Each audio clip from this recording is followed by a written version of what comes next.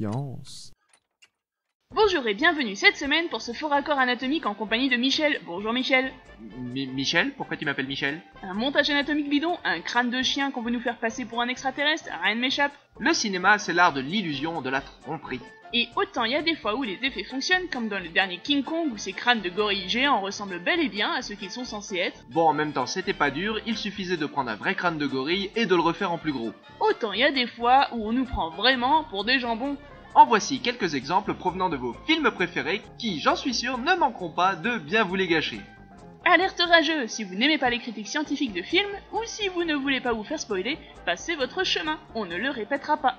Commençons par les chouchous du grand écran en ce moment, j'ai nommé le Marvel Cinematic Universe. Dans cet extrait des Gardiens de la Galaxie volume 2, on a le droit à une orgie de nonos, du porno pour anatomistes fous. Il s'agit ni plus ni moins que des cadavres des différents enfants du père de Peter qu'il est censé avoir eu avec des races aliens provenant de tout l'univers. Oui oui, de tout l'univers. Du coup, la déception est grande quand on réalise que c'est surtout de l'humain. À part ces deux crânes-là, dont l'un correspond à un lion à peine déformé pour avoir l'air moins terrestre, Et l'autre à un chat, qui, mis au premier plan, paraît beaucoup plus gros qu'il ne l'est en réalité, tout le reste est 100% humain. euh, ça fait déchanter, euh, forcément. Sur le plan suivant, on a droit à un agneau à deux têtes, un grand classique des musées d'anatomie. Ainsi qu'à un autre crâne humain, Je vous invite à vous en rappeler. et à ce truc bizarre dont on peut voir la mâchoire. On retrouve le même truc bizarre sur le plan suivant, pour se rendre compte avec horreur que sa bouche n'a pas de trou.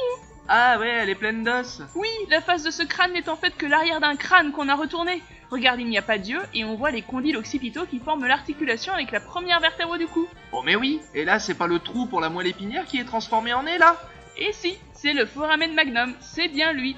Et maintenant que vous êtes familier avec la scène en question, vous avez certainement repéré le crâne humain et l'agneau à deux têtes du plan précédent. On se paye pas nos tronches du tout.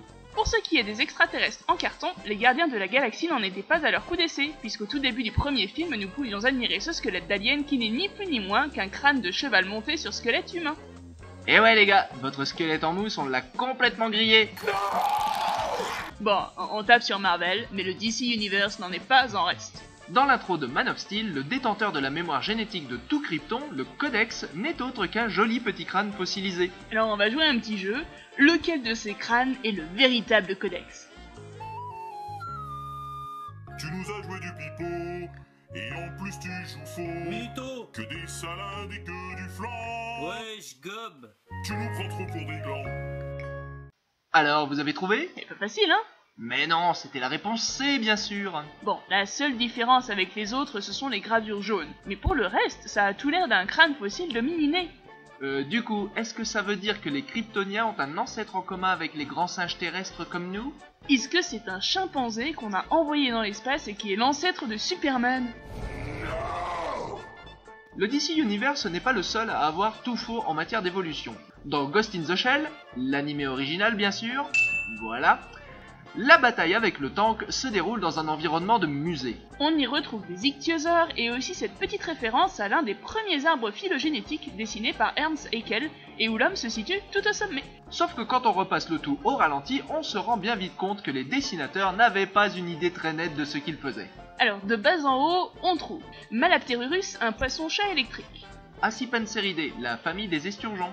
Siluriforme, la famille des poissons-chats. Donc Malapterurus n'est plus un poisson-chat, c'est ça?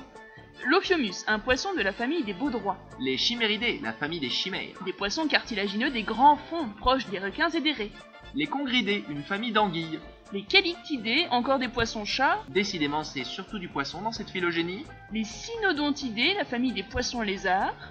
Les Anguinidés, la famille des anguilles. Muéinidés euh, Est-ce qu'ils ont voulu écrire Murénidés, la famille des murènes, peut-être? Muéinidés, en tout cas, ça, ça n'existe pas. Euh, Compridés. Et là, c'est pas Congridés qui voulait dire? Bah, je pense pas, puisqu'ils l'ont déjà dit plus haut, Congridés. Ah bah peut-être que si. Ils étaient visiblement en panne d'imagination car revoilà les signoriformes. Latimeria. Ah, enfin un poisson à nageur charnu, le fameux Sélacanthe. On se rapproche un petit peu de l'homme, c'est pas trop tôt. Ah, ah non. Eh non, revoilà les poissons cartilagineux. Raja, le genre auquel appartient la Raymanta, et Pristis, le poisson-ci, tous les deux de proches parents des requins. Et finalement, culminant tout en haut de l'arbre évolutif des poissons cartilagineux et des poissons-chats, l'homme. Et, et pour ceux qui espéraient que ce soit le mot chimpanzé sur la droite, non, c'est en fait le mot chiméridé. Encore. Bon, on peut pas être des génies dans tous les domaines. hein. Ah, je te le fais pas dire, car maintenant on s'attaque à un autre film de génie, Le Seigneur des Anneaux, Le Retour du Roi. Une grande réussite Euh, oui, mais pas sous tous les aspects. Non mais c'est bon là, je te vois venir. Tu vas nous faire remarquer que les squelettes qui dégringolent dans la caverne, en fait, c'est que des crânes. Et que du coup, c'est des têtes qui se sont baladées comme ça, sans corps, qui sont venus se promener. Mais non, je t'ai anticipé. Ce sont des trophées en fait. Ils ont été décapités, ces sales intrus. Et on a gardé que leur tête. Ha Je t'ai eu Euh, non. En fait, ce dont je voulais parler, c'était de la scène de l'antre de l'araignée géante chez Lob. Gollum nous explique que l'araignée n'a rien d'autre à manger que des... Orque crasseux. Et que du coup, un hobby bien fait lui changera. Mais il nous mitonne, le nabo Regardez ce qu'on trouve dans sa caverne Ah bah mince alors, un babouin et un crâne de vache. Eh ben, c'est sûr que pour une pauvre bête censée mourir de faim, elle a tout l'air d'avoir une nourriture variée. hein. Ouais, euh, juste quelques centaines de kilos de viande fraîche quoi. Gollum, c'est un mytho, ouais. Je l'ai toujours dit. Et le fantastique n'est pas en reste. Dans le générique du Godzilla de 2014, on nous suggère très subtilement que Godzilla est un dinosaure ou du moins un reptile géant du Mésozoïque. Mais c'est des salades, car on peut voir le squelette de Godzilla à un moment, et il n'a rien à voir avec celui d'un reptile. Godzilla est un mammifère. Regardez, Godzilla a la colonne vertébrale divisée en une région thoracique avec de longues côtes et une région lombaire sans côtes. C'est typique des mammifères, ça Les crocodiles, les reptiles marins ou les dinosaures n'ont pas de région lombaire à leur colonne vertébrale. Et vous allez dire qu'on exagère, Godzilla il a quand même pas la tête d'un mammifère. Eh ben si, si justement. Chez les vertébrés terrestres, on distingue 5 formes de crâne. Les anapsides ont un crâne sans fosse temporale. Les synapsides ont une fosse temporale basse, À l'opposé, les euryapsides ont une fosse temporale haute. et enfin les diapsides ont les deux, basse et haute, et les archosaures ont un crâne diapside avec en plus une fosse à l'avant de l'orbite et sur la mandibule. Ceux qu'on appelle communément les reptiles ont un crâne soit anapside, comme les tortues, ou diapside, comme les lézards modernes. Les dinosaures, eux, ont un crâne archosaure, comme les crocodiles, tandis que les reptiles marins ont un crâne euryapside. Et Godzilla? Et bah Godzilla il a... Et bah, eh bah, eh bah Godzilla il a rien de tout ça en fait. Eh ben oui, parce qu'il a un crâne synapside, à une seule fosse temporale limitée par une belle arcade jugale, comme les mammifères. Mais pourtant Godzilla il a bien des écailles. Ah ça oui, et des mammifères à écailles, j'en connais. Par contre, des reptiles à vertèbres lombaires, j'en connais pas. À part peut-être les reptiles mammaliens cynodontes, mais appeler cela des reptiles, c'est un peu fort de café. Bon ben il faut se rendre à l'évidence, Godzilla est un pangolin bipède géant radioactif cracheur de feu. Ah bah tiens, puisque Dark Vador s'en mêle, retournons un peu à la SF. Vous connaissez peut-être les Xindi aviens de la série Star Trek Enterprise. Il s'agit d'une ancienne race d'aliens à forme d'oiseau qui a disparu il y a très très longtemps. Oui, et tout ce qu'il en reste, c'est ce crâne. Euh, non Michel, ça c'est une girafe. Alors d'une, je m'appelle pas Michel, et de deux, ça c'est un crâne de Xindi avien, même que c'est eux qui le disent. Alors je veux bien que l'absence d'incisif sur la mâchoire supérieure si caractéristique de tous les ruminants ait pu faire penser au créateur de la série que ce crâne passerait pour un crâne d'oiseau, mais non, c'est définitivement de la girafe. On vous prend pour une buse là Michel. Bon d'accord, euh, de toute façon tout le monde n'est pas Trekkie, mais par contre tout le monde connaît Star Wars. Et si vous connaissez déjà notre chaîne, vous savez que Star Wars et la paléontologie sont franchement très potes. Vous ne nous croyez pas Alors voici pour vos yeux ébahis le mammouth de Solo A Star Wars Story. Il est bien reconnaissable à la courbure de ses défenses. Et voici une mâchoire de mammouth dans l'Empire contre-attaque. Enfin, on dit mammouth, euh, ouais, parce qu'il est dans la neige, hein, sur la planète de glace haute. Sinon, il s'agit peut-être de celle d'un éléphant. Et là, retour au premier épisode de la trilogie avec 6 PO qui croisent le squelette d'un très long animal. Le crâne est complètement inventé. Par contre, la colonne vertébrale, elle, porte un signe distinctif.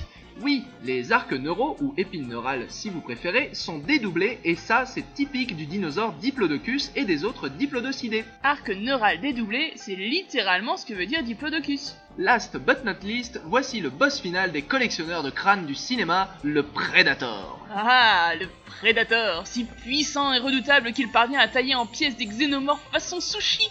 Et pourtant, le premier à avoir visité la Terre s'est fait maîtriser par Schwarzy. Mis en PLS par un misérable humain, c'est-il pas la honte intergalactique ça? Ouais, mais attends, c'est c'est Schwarzy, quand même. Ouais, mais moi j'ai une autre théorie. Moi je pense que les Predators, ils ont pas envoyé un guerrier d'élite à Schwarzy, mais plutôt un bon gros branquignol, du Predator au rabais. Tu te fais dire ça? Ben le Predator du premier film se balade avec quelques trophées de chasse, des souvenirs en pendentif quoi. Ah, ça fout les jetons, oui. Ah au premier abord oui, mais quand on y regarde de près, Ça c'est un chat, ça c'est un autre chat, ça c'est un rongeur typique d'Amérique qu'on appelle un chien de prairie, et ça c'est mon petit chouchou, il s'agit d'un poisson qu'on ne rencontre qu'en Amérique et qui s'appelle une lépisostée ou garpic. Ah, oui, bah oui, avoir flingué deux chats, un rongeur et de la poiscaille, y a pas de quoi attraper la fierté. Ah ça non, c'est pas la gloire. Pas étonnant que Schwarzy lui ait mis la misère. Cet épisode est terminé, merci de l'avoir suivi. Si vous avez apprécié et que vous voulez un autre épisode comme ça, laissez des commentaires en nous indiquant les squelettes à identifier dans vos films préférés. Et surtout, partagez la vidéo pour nous montrer que ça vous plaît. Et la semaine prochaine, Michel, on revient, et cette fois j'aurai du lourd, du très très lourd. La semaine prochaine, Michel. Non mais c'est pas bientôt fini, c'est comme...